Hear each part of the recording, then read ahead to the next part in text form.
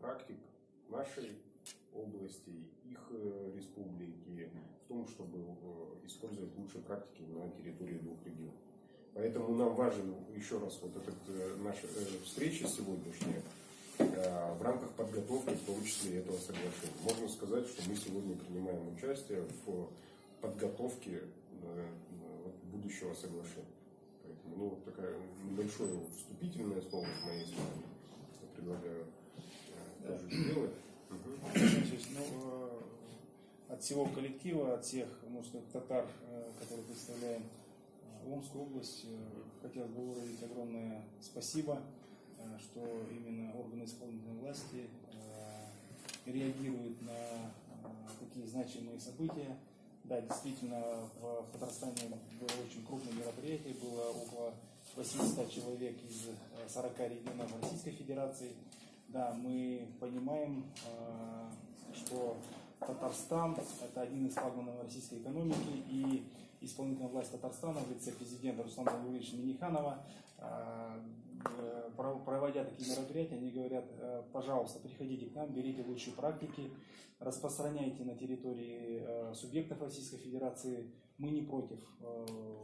Будем, мы одна страна, одно целое, поэтому нам необходимо, чтобы все наши лучшие практики распространялись на территории России.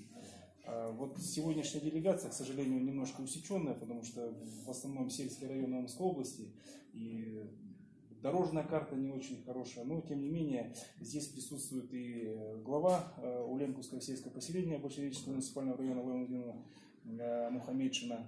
Здесь присутствует э, Тигрийский район, э, Азовский район, Большевичий район, Кучуков, Кучуков Архатович, которые представители именно крестьянско-фермерского хозяйства. То есть те люди, которые действительно, э, как говорится, э, знают все проблемы на земле и вот сегодняшняя встреча, я думаю, даст э, определенный импульс для дальнейшего развития наших взаимоотношений. Да, действительно, мы в ваш адрес направили письмо, что региональная автономия татар, учитывая недавние встречи президента, на, когда он озвучил, что именно региональная автономия могут участвовать и должны участвовать в помощи исполнительной власти, представительной власти, потому что многие проблемы, которые есть, и они в первую очередь э, мы как те люди, которые э, организация находимся, как говорится, э, на, острие, мы их очень четко чувствуем и, соответственно, можем в полной мере передать правительству. Мы свои предложения изложили, где мы можем помочь и принять участие в тех или иных мероприятиях. Я, с вашего позволения, хочу передать слово э, главе Уленковского сельского поселения Ленудина э, Мухаммедшиной. Она, как никто, э, знает все проблемы. Потом мы плавно перейдем именно к тем ребятам, к тем предпринимателям, которые были в Казани, и они свое видение скажут по поводу. Честно говоря, Расим знаете, тяжело, мы прекрасно все понимаем, бюджеты Омской области и Татарстана, но тем не менее мы э, такие некоторые вопросы снивелируем и э, будем находить ну, конструктивные точки соприкосновения. Спасибо огромное. Я сразу скажу, что очень хорошо, что вы это понимаете. Но смотрите, вот самое главное здесь, то есть это понимание, что бюджеты разные, обеспеченность разная и, соответственно, Э, возможности разные у Татарстана и Омской области по поддержке. И это хорошо, что есть понимание. Поэтому здесь диалог выстраивать будет вместе с вами, ну, с вами ну, как бы, э, более эффективно. Но самое главное, что нужно понимать, э, по моему мнению, в Татарстане выстроены именно организационные вещи ну, эффективно выстроены вот, которые не требуют затрат. Это очень важно. То есть именно диалог э, с предпринимателями, с бизнесом, организационные какие-то механизмы межведомственного сотрудничества, возможно, э, те тот диалог, который позволяет как раз э, взять то, что нужно сейчас бизнесу. Не так сверху как бы рассказывать, что, как бизнесу удобнее, а снизу инициативу увидеть. Вот эти организационные вещи в первую очередь нам важны. Потому что, э, что называется, с деньгами любой может. с большими деньгами тем более. Вот. А здесь важны организационные вещи, и как раз я хотел бы, чтобы э, вы рассказали о механизмах, которые вы увидели с точки зрения организации, как нам лучше работать. Вот, это очень важно, поэтому э, действительно с этого нужно начинать. Прошу. Ну, я бы, наоборот, послушала. Спасибо за предоставленное слово. Я в этом году не ездила, я честно скажу, но те годы, которые я работаю главой поселения, я много раз посещала именно конкретно это мероприятие и выступала несколько раз на таком форуме. Конечно, Татарстан живет, это мое сугубо личное мнение, Татарстан живет, на сегодняшний день процветает. Это как бы может быть это их возможность. А наша возможность совсем другая, регион другой, Сибирь, это наши земли, это как бы мы, мы, я как человек себя считающий, я приближенный к земле человек, который 12 лет уже отработавший главой поселения, все тяготы, трудности жизненные и именно жизни села я как бы вот и до знаю. Я сегодня очень рада присутствовать на этом мероприятии, тем более сам вот круглый стол, он такой как бы вот э, несет такой посыл, что как бы мы э, обмен опытом, разговор за круглым столом, я так понимаю, да, Алексей Валерьевич, или обмен опытом. Но волнующих тем, если как бы с этого начать, очень много. Сегодня меня волнует то, что мы, мы то, что вот можем своими силами справляемся, работаем. Конечно, наш тот бюджет, который имеется, он очень скудный хочется что-то делать, если бы мы бы горы перевернули, если бы у нас возможность была бы. Моя, мое поселение, Уленгурское сельское поселение Башеческого муниципального района, оно историческое, оно с 400-летней историей. Мы проводили 365 лет селу. Может быть, история она еще. История сохраненной своей культурой, самобытностью. У нас живут сибирские татары и казанские татары – казанские татары в 21 год, я вот хочу на это акцентировать внимание, переехали с Татарстана. 21 голодный год, когда вот он, как бы история, вы знаете про это, переехали. И вот те бабушки, которые дедушки живут у нас, они сохранили свой казанский, разговорную казанскую речь. А я истинно коренная сибирская татарка. Живем с ними бок о бок на протяжении многих лет. Я там родилась, выросла, и на сегодняшний день, что могу, там я работаю и делаю. Но проблем много, очень много проблем. Большая проблема отток молодежи из села. Сегодня молодежь у нас не задерживается. У нас молодежи было когда-то, у нас типовая школа. Школа, построенная в советское время на 300, на 400 детей был садик, который вот полный, 8 групп у нас было. Как эти группы были заполнены детьми. Я в этой школе училась. И школа на сегодняшний день имеет какой потенциал. Сегодня, на сегодняшний день в нашей школе 100 детей. Это уже сразу о чем. И в садик посещает 18 детей. Нет молодежи, нет детей. И оставаться в деревнях нету для них как бы ни возможности, ни работы. И вот именно вот это вот мероприятие, которое вот предпринимательство, то, что мы хотим развиваться на этом уровне, и может даст какой-то посыл. Я не хочу, чтобы у нас наш город проснулся в один прекрасный день, и что вот проснулись, и деревень-то нет. А кормить город кто будет? Натуральное молоко у нас, натуральное мясо у нас в деревнях. Пока что есть. Молоко у нас, к сожалению, закупается, вот у меня конкретно поселение 15 рублей. Закупает закупщик у нас Большереченский 15. 2 рубля 60 копеек дотация область дает. И вот сравните сразу. И как у нас народ говорит? У нас народ бутылку газировки меряет бутылкой тетрапака молока. И вот сразу вы оцените, газировка сколько на сегодняшний день стоит, и вот литр молока, который я вам выложила на сегодняшний день. В Татарстане есть очень моменты такие хорошие. У нас государство дает, кто увеличивает, не государство, а область, кто увеличивает поголовье коров, им 5 тысяч с того года началось. А это, Расим Насарович, не надо вот тем, которые увеличивать давать, а тем, которые держат коров.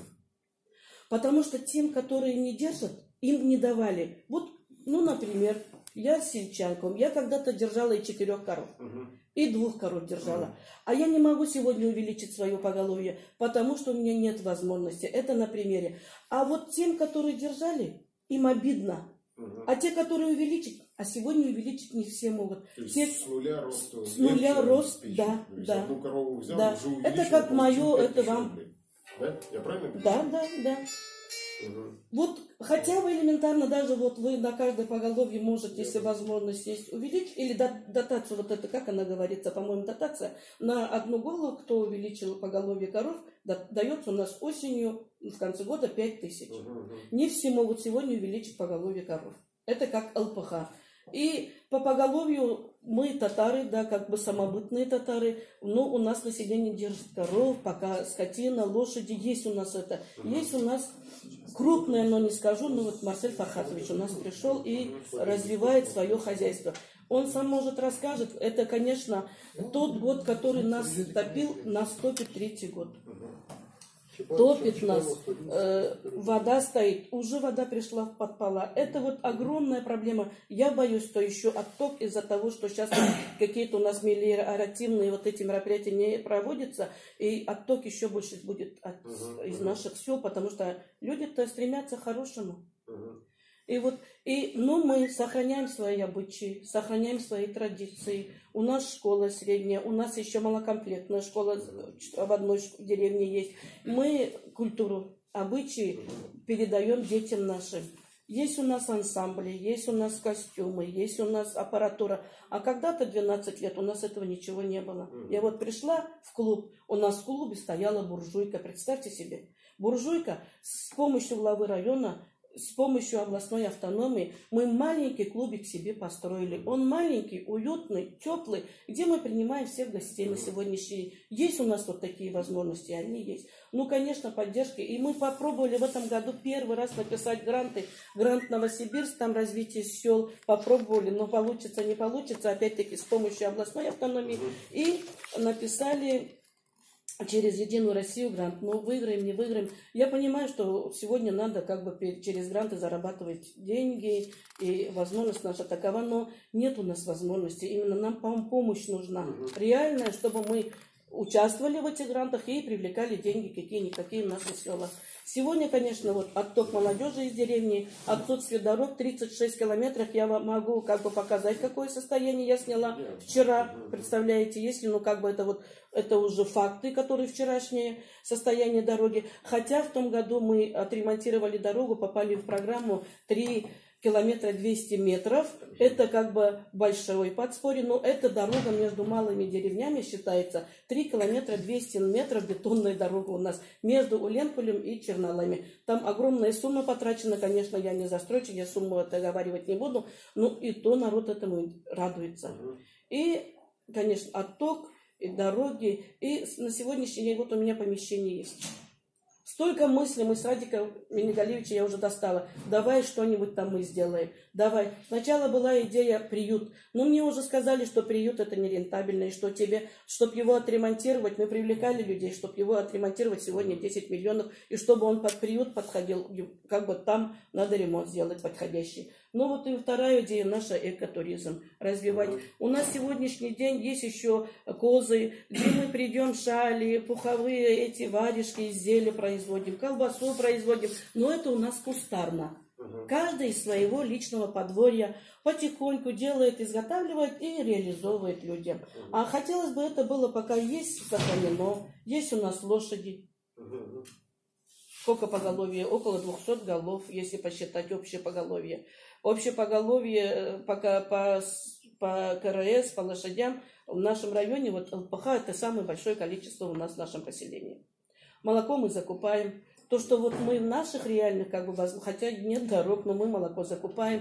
Как бы молодежь, которая у нас остается, мы стараемся поддерживать. И вот вчера буквально был звонок, но я фамилиями не хочу, конечно. Есть у нас там котлован, он видит, он наш житель. Я, говорит, сегодня работаю в Сахалине. Какие мои возможности? Я, говорит, хочу приехать в деревню и сам заняться. Я хочу, говорит, карпов разводить. И рядом, говорит, хочу теплицу поставить. Но это юридически я ему как бы свои советы дам, если он приедет. Е- ну, это вот за столько лет первый звонок, и мне этот звонок был самым дорогим, наверное, то, что молодой человек изъявил желание, а это еще он вернется, не вернется. Вот, вот таких людей и поддерживать надо, и тем более молодежь. Могу я много говорить, опыт большой, но Мгм. Вот возможности наши реальные таковы. Хорошо, давайте смотрите по пунктам.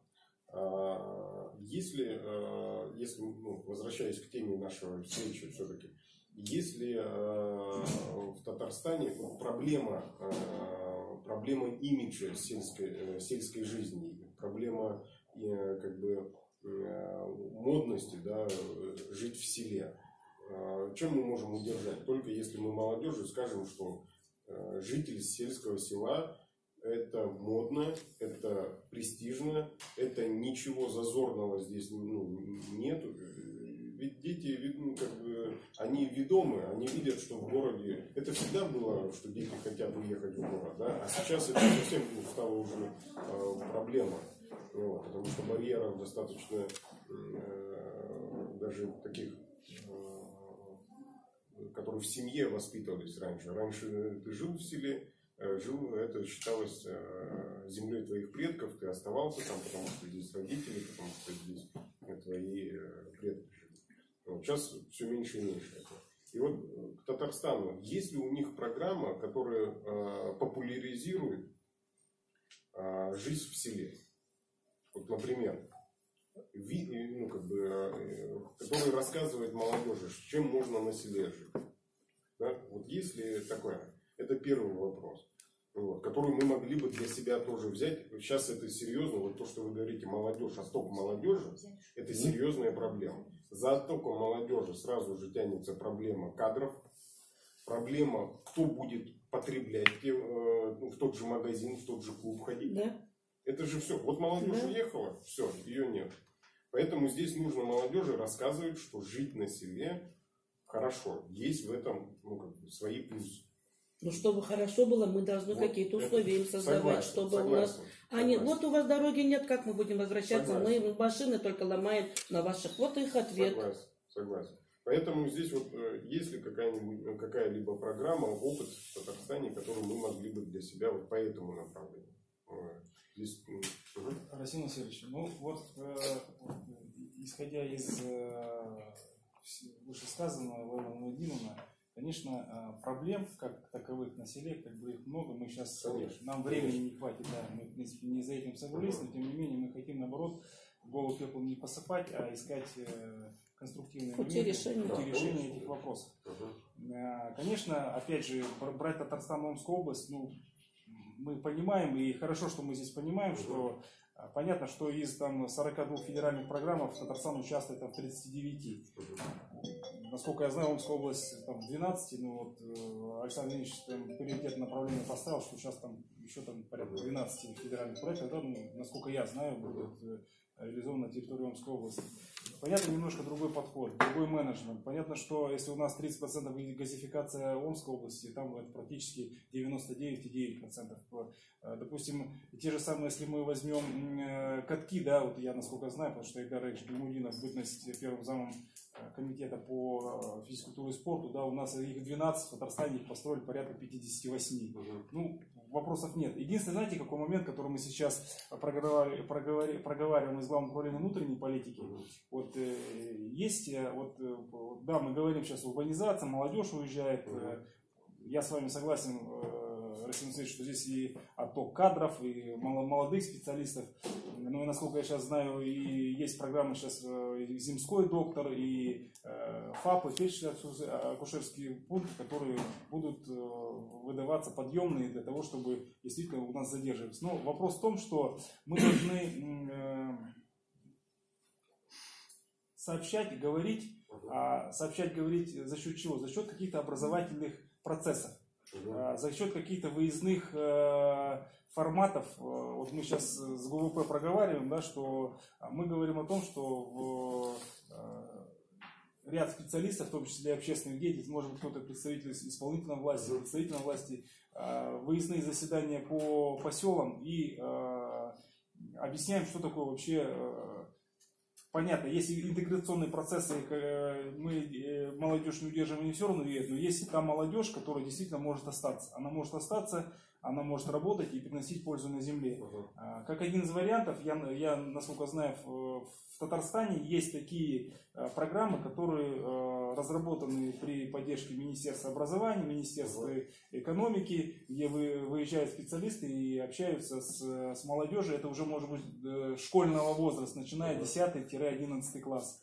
И э, популяризируют профессии именно э, то- токарей, э, профессию животноводцев, э, агрономов и всех прочих. Тем, тем- тем- тем более у нас профильные вузы есть. Может быть, еще э, по квотам в эти вузы, да, вот как, как один из вариантов, чтобы, э, допустим, как в системе МВД, если ты закончил Академию МВД, ты 5 лет должен отработать в системе МВД. То же самое и здесь. Отучился ты в ВУЗе, пожалуйста, будь добр. Ну, понятно, там есть моменты, там и, как говорится, хитрят, там уходят, что-то возвращают, что-то не возвращают. Ну, в принципе, ничего невозможного нет, э, Расим Алексеевич. Мы здесь с вами полностью согласны, что вот хотя бы с чего-то начать. Может быть, э, э, создать некую группу вместе с, с Министерством образования, с вами, да, кто-то из представителей, и разработать модуль обучающий для того, чтобы проехаться и объяснить молодежи на уровне там, 10-11 класса,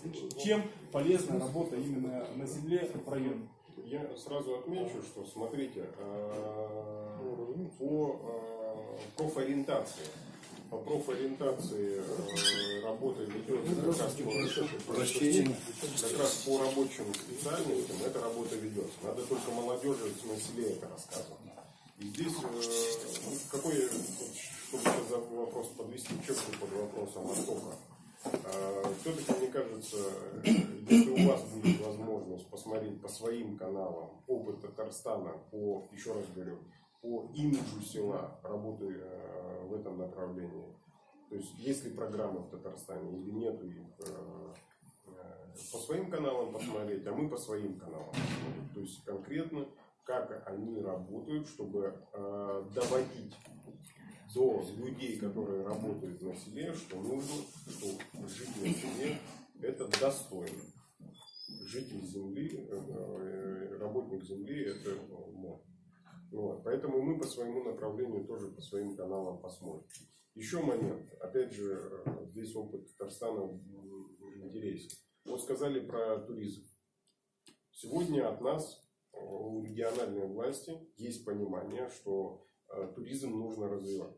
У нас э, более или менее пошла э, с северными районами э, работа э, с тем же Большереченским э, зоопарком. Вот, то есть, ну, но при этом э, еще многое-многое нужно сделать. Вот смотрите, э, если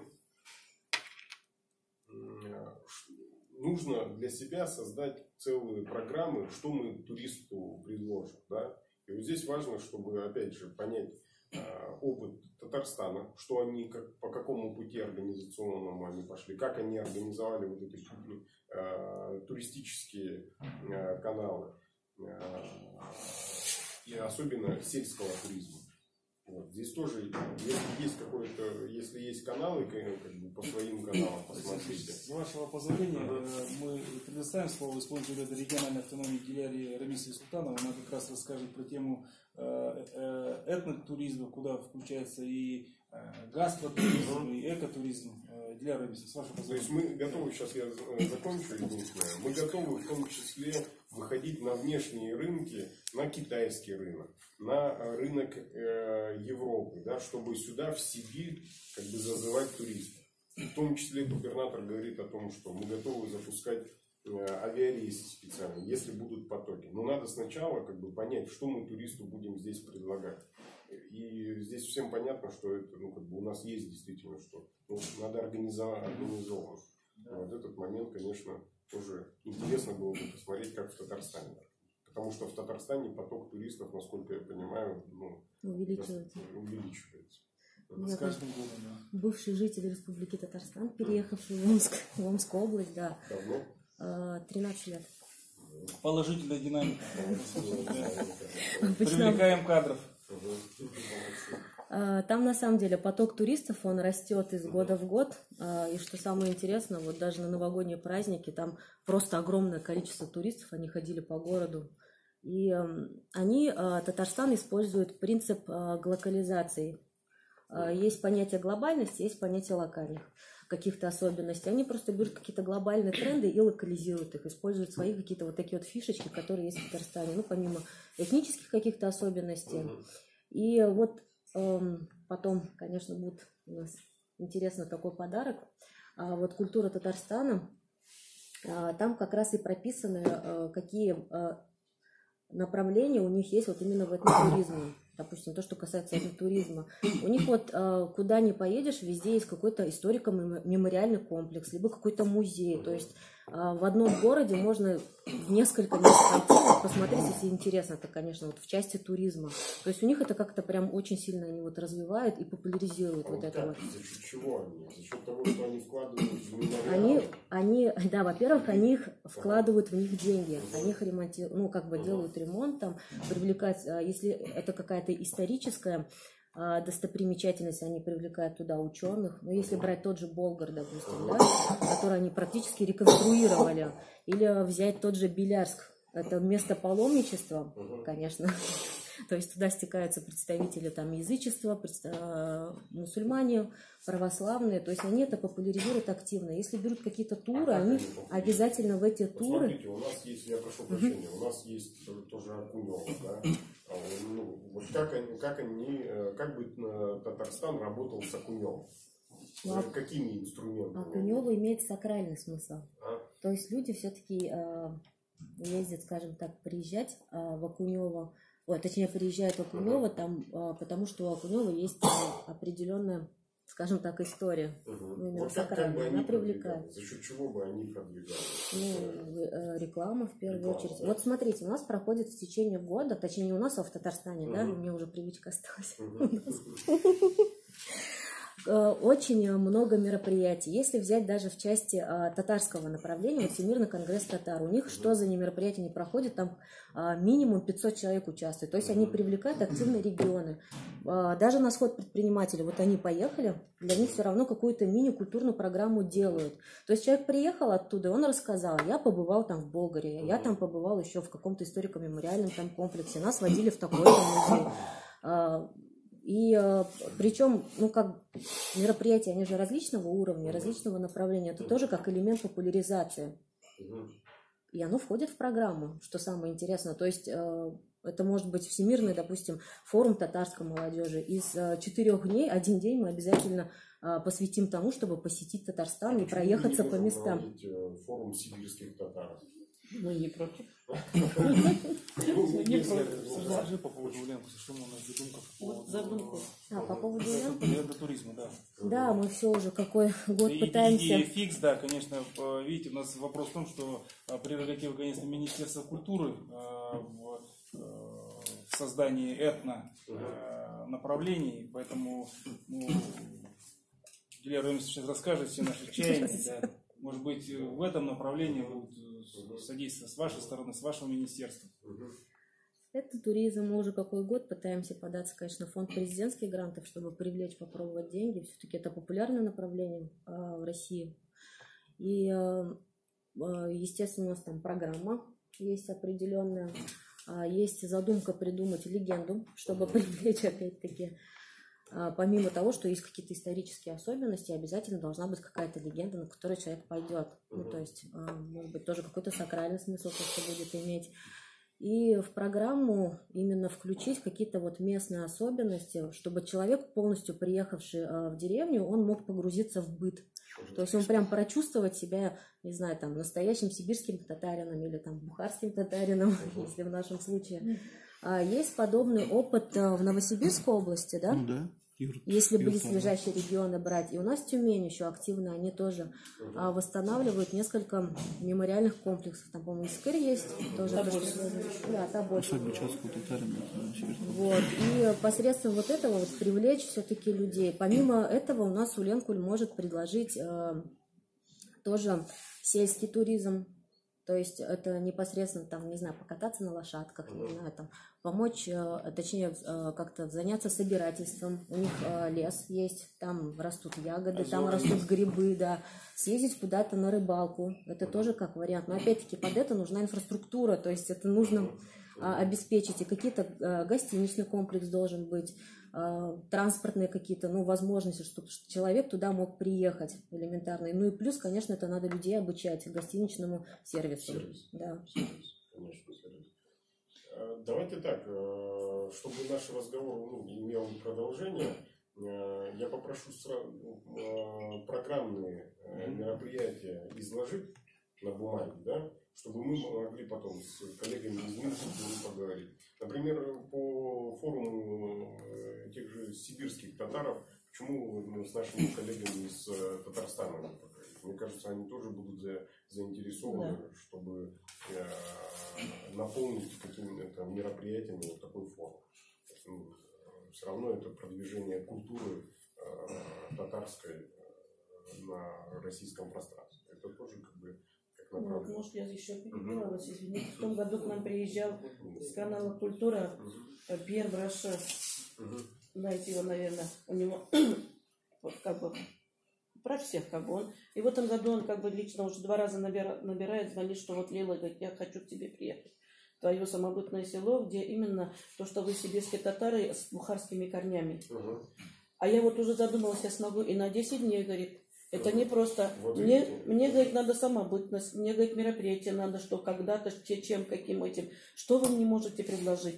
Предложить-то много чего, а наши возможности, где я его должна принимать, принимать. 10 дней, это уже люди должны жить, мы их должны кормить. А мы к этому уже сегодня, я могу даже отказать ему, или я должна его принимать у себя дома, или я его, в каких наших условиях, если принять его, и как бы, и говорит, я привезу канал, и, а, и 15 самых лучших каналов, которые, говорит, поедем, поедим, типа это его слова, но не он, а и типа этого, говорит. И чтобы какую-то сибирскую, э, какое-то сибирское блюдо вы приготовили и смогли мы на весь мир это показать. Можем- Блюдо это не проблема у нас. Любое блюдо мы это приготовим, не проблема. Просто уже, он уже наши дороги, он в том, в том году к нам приезжал, он сни- снимал нас. И в этом году где принимать? Он уже на неделю, ну, с отдыхом, наверное, планирует. Вот, вот в этом ракурсе разговор у нас. И мы в этом, к этому мы уже сегодня не готовы, я так хочу сказать. Имеется в виду спрос есть, инфраструктуры пока Вот- нет. Вот, смотрите, а, здесь, э, ну, понятно, что мы там, ну, э, даже если мы начнем работать активно, да, это все равно нужно будет время, чтобы эта инфраструктура появлялась, нужны там, Да, да. средства и так далее, и так далее. Но э, путь осилит только идущий, правильно? И поэтому здесь, если бы мы хотя бы с малого начали и с вами решили, вот э, сегодня можно в тех условиях, которые есть, можно э, и теми силами, которые на сегодняшний день есть, можно обеспечить там двухдневную программу. Да? Да. Вот.